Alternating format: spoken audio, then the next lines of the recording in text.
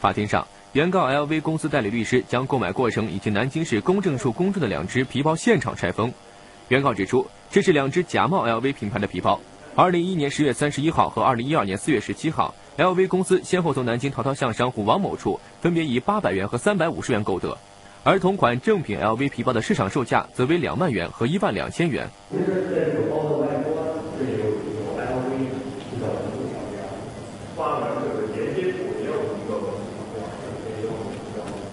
经现场比对和查验，合议庭当庭确认，南京淘淘巷商户王某售卖的两只皮包确为假冒 LV 品牌的商品。被控的两件侵权商品，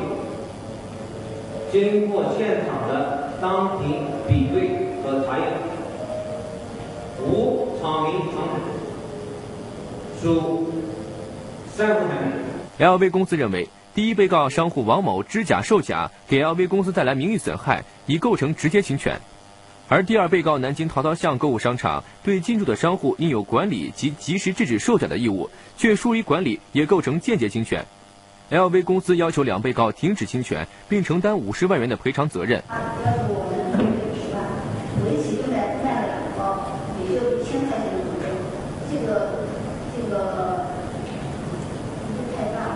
而第二被告南京淘淘巷商城则认为自己对商户的售假根本无责任，连带赔五十万实在是太冤枉。作为第二被告，不存在为第一被告侵权提供便利的行为，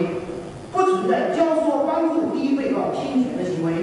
也不具有及时有效制止的法定义务，根本无需对原告承担任何法律责任。法庭上，原被告双方都同意可以就赔偿数额进行调解。